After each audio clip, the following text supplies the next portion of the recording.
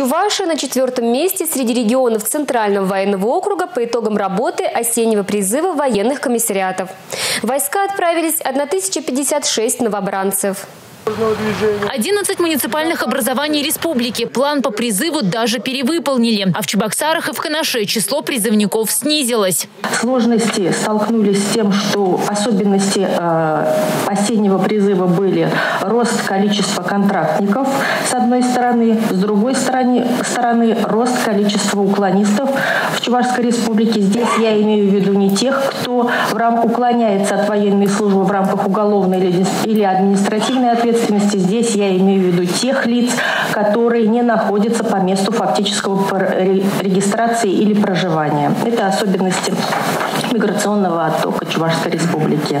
В декабре прошлого года молодые люди на военную службу отправились с Временного республиканского сборного пункта в Чебоксарах, организованного в здании бывшей кадетской школы. В этом году на его же базе планируется провести и весенний призыв. Сборный пункт в Канаше закрыт. Он был построен почти полвека назад. Капитального ремонта там никогда не было. Сейчас решается вопрос о возведении нового здания. Временно исполняющий обязанности главы Чувашии Олег Николаев взял на личный контроль вопрос строительства призывного пункта в Канаше, чтобы обратиться в Минобороны России. Татьяна Трофимова, Павел Редков, Республика.